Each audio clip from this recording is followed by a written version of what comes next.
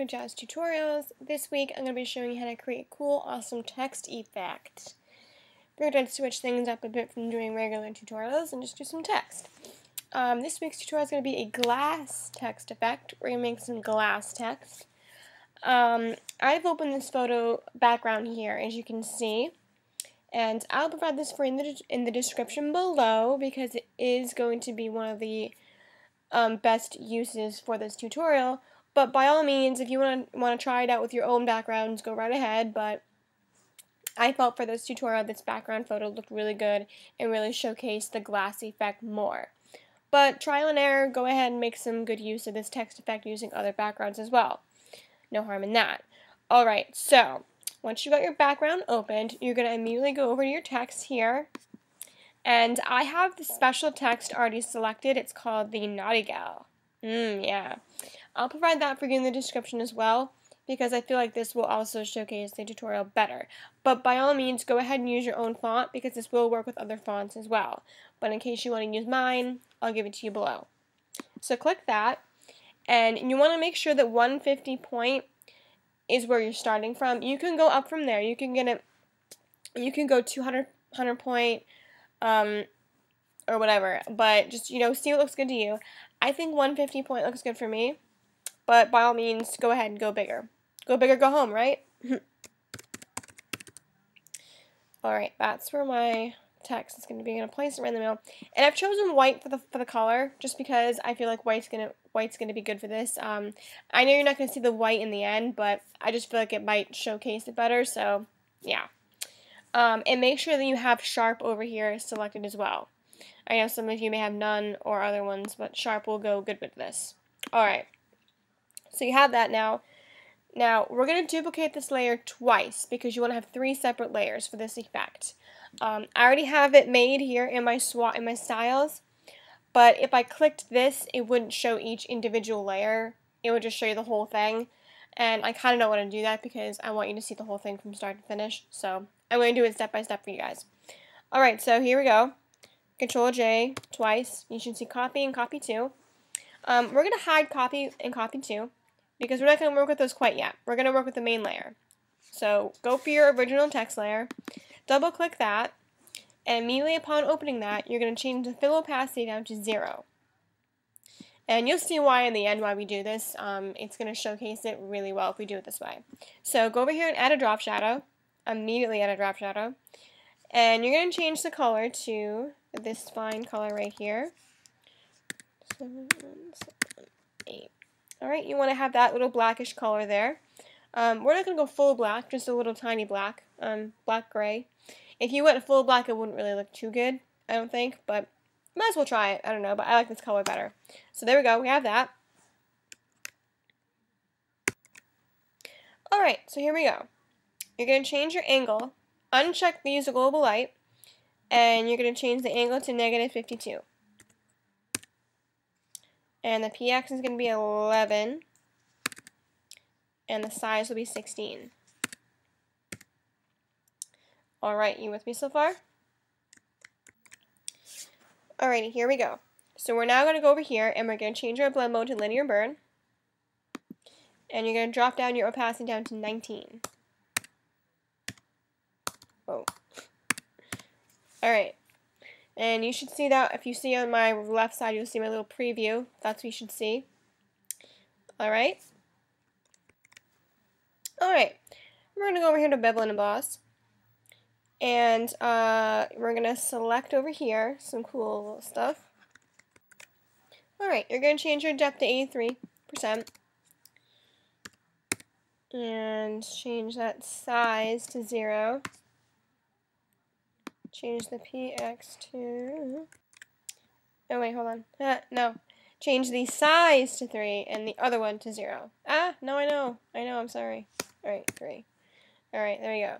So you have size 3 and your softens p 0. Alright, moving down here to your shading section. Um, Alright, we're going to uncheck this again. And you're going to have 0 for this over here. And then you're going to have 26, not 30. Alright, and you're going to change the gloss contour to number 3, which is right there. cone inverted. Alright, you should see that. And we're going to change the highlight and shadow mode just a bit. Alright, we're going to change this to um, 0 and this one to 28. And you're going to have linear dodge and linear burn. Oh, wait a minute. Did I make... Oh, hold on. Yeah, alright.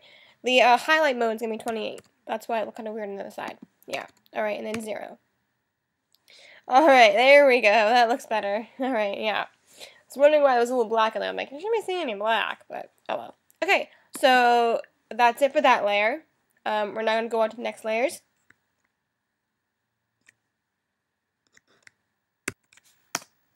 So we're going to um, make this one visible, copy the next one, and we're going to double click that one. And again, we're going to change the fill, fill opacity to 0. And we're going to again add another drop shadow. Oh, wait a minute. No, no, no. Inner shadow, not drop shadow. Gosh, I should know this by now. I've done this tutorial already myself. Okay, so then we're going to change the color to the same one we used before.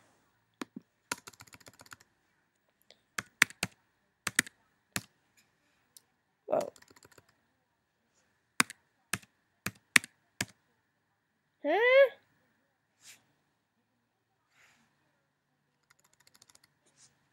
Seven one seven.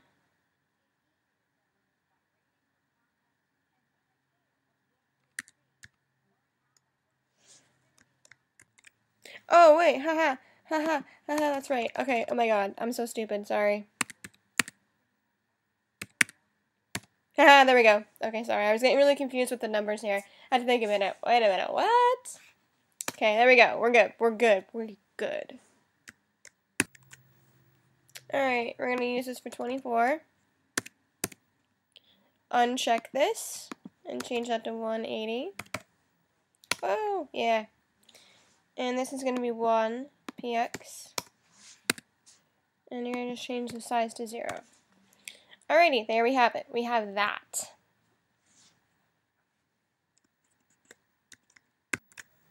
Oh yeah, and you want to also change that to um, linear burn. Yeah. Forgot to mention that. Alright, uh, yeah.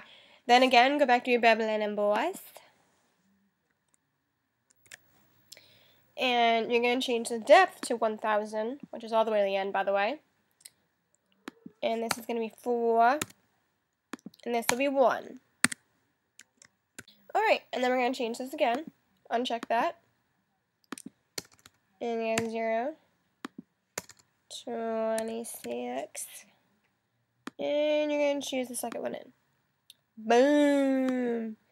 And you want to check that. Alright, we're going to change this to color dodge. And this to 4. This one to linear burn. And the opacity to 10. Alright, there we go. Ooh, we're cooking. We're looking good. Alright, last layer. Oh yeah, last layer, baby. Alright, click this one. And again, we know the drill. Fill opacity down to zero. Alright, opacity on a drop shadow, 82. Distance is 2. Size is 8. Oh, what? Oh, right, and uncheck this, and change the angle to zero. And of course, change the color to the other one we, we have been using. Alrighty. Looking good, my friends. Looking good. Alright, and this time we're going to also add an inner shadow. And you want to change the color to white. Yeah, you do. Alright, uncheck that. 22, 1, and 0, 0. Oh, and change your level to linear dodge. Where's that? Yeah. Okay, so there we are. And, oh, oh, oh, and this one here. Click over here. Click that. Yes. And also check that. Hmm. Something's a little off. Oh, wait, wait, wait. What? Oh, wait a minute. Uh-huh. Okay. 90.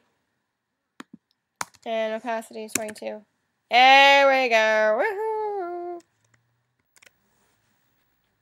Wait, that's a negative 90. My bad. Sorry, guys. I just keep looking at my preview and I'm like, why is it not looking the same?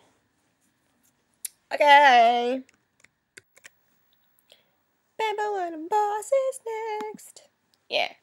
Alright, change your depth to 1000 again. Change that to 16. Uncheck that and do 0. And 40. Alright, check that. Linear dodge and linear burn. 18 for that one, and 8 for that one. Alright, now we're going to add a stroke. Going to choose this lovely gray color here. Change it from inside. Make sure that's a 1. Sure that's an overlay. And last but certainly not least, change this to 27. And oh yeah, that's basically it. Now, if you would like to save this to your styles menu so you can use it for future reference, all you gotta do is click the word new style, um, type in a random name, click OK, and boom, it ends up in your styles, and you can use it again and again and again without having to go through all this crap. So there you have it. That's the tutorial. It couldn't be more simpler than that. Um, I know it was awesome because everything is awesome when you use Photoshop. I mean, it's the art of awesome. That's pretty much our tagline. Well, it's my tagline, but yeah. So, uh, yeah, I like this tutorial. I hope you did too. Um, I thought it was pretty awesome. Um, again, go ahead and mess around with the background image and see what you can create. Um, you could add other cool stuff in here. You could add more text. You could add other cool stuff. Um, in my final image, you'll notice that I made um, made it into my tagline on the top um, and stuff. And yeah, so uh, I hope you liked it. And as always, subscribe, comment, like. Um, I like those kind of people. Um, I like everyone. I love the world, um, and you should too. So yeah, that's I don't know what else I can say to tag you into um, whatever. So yeah, all right, I'm gonna shut up now. So bye.